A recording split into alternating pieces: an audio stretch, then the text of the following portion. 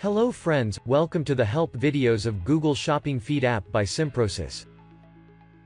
In this video, we are going to see how to install this app on your Shopify store and complete the integration process. Starting with the installation, first, we will open Shopify App Store page and here in the search bar we will search Google Shopping Feed app.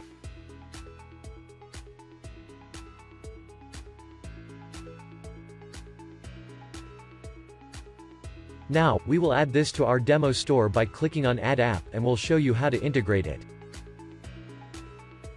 Once you tap on Install App you will be asked to authenticate and link the app with your Merchant Center.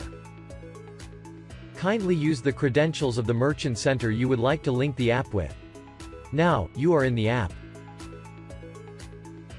Once again, make sure you have connected the app with the right Google Merchant Center account as you will have to select the merchant ID. If you are linking the app with multi-client account, kindly select the parent account here in the first dropdown. Then app will show you the list of sub-accounts. From the second drop-down, kindly select the right sub-account. Also, on the side note, whenever you see this kind of icon in any section of the app, you should go through that help video before going to that section to avoid any probable error or mistake. Now, app is verifying the domain and the shipping settings you may have done in the Google Merchant Center. If you have not done the shipping settings in Google Merchant Center then please refer to this link and look to the steps for shipping. Once all your shipping settings are set up correctly, press Test Shipping Rates. The shipping settings you have done are verified by the app and then you will be able to proceed to the next step. In the sync settings from Shopify you will have to select the configurations you want for the product submission. Like here I am selecting all products, if one wants to submit the collection then he can use let me choose collection and select the collection created from the drop-down.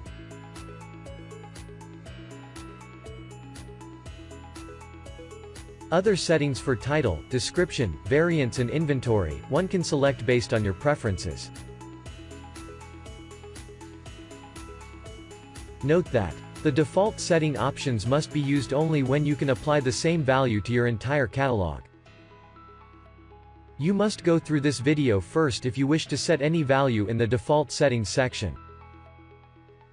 Also, you can use the bulk edit feature of the app for assigning category, age group, gender and the identifier management option for the products. We have attached the link in the description. Now in Google Sync settings you will have to select the tax settings. If you are a business from European Union, United Kingdom, and Australia. If your store's product prices are including VAT or GST then, kindly select yes, my product prices are including VAT. And if your product prices don't include VAT or GST, and you charge the VAT or GST in the checkout as extra, then you will have to select, no, my product prices do not include VAT and you have to add the tax percentage here. Now based on your preferences you can enable or disable sale price and UTM tags, and select the ID format you want to submit for the products, and, then save the settings. Moving to Bing Sync settings, if you want to submit your feed for Bing.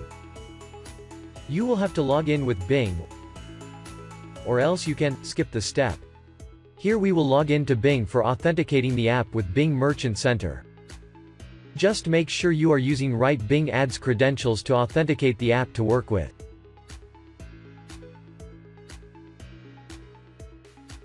You will then have to select the Bing Merchant Center from the drop-down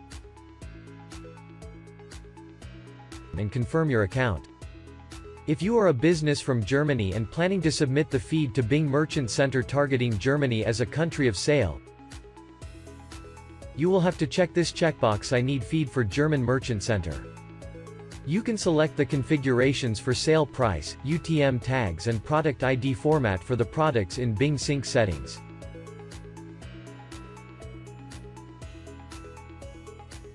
Moving forward to Facebook, you will have to authenticate the app to work with your Facebook account through API by signing in. Once the details are entered you will be asked to enter the Facebook business account from the drop-down and then the catalog number. If you have not created a catalog then you will have to create it in your Facebook Business Manager. We have a different video on how to create a catalog in Facebook Business Manager. Link is given in the description. Here, we already have a catalog number for Facebook which we will place and will confirm the account.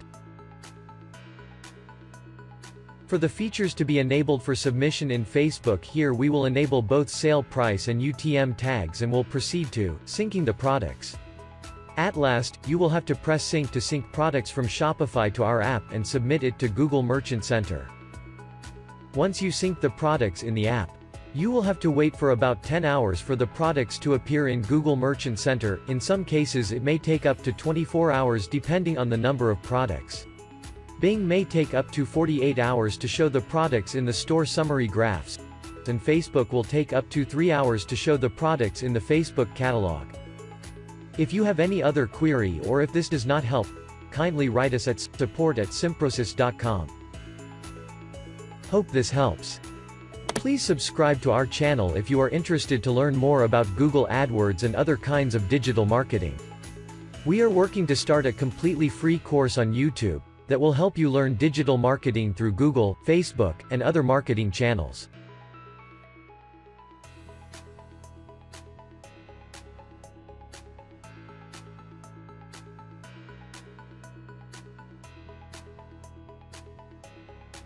See you again in another video.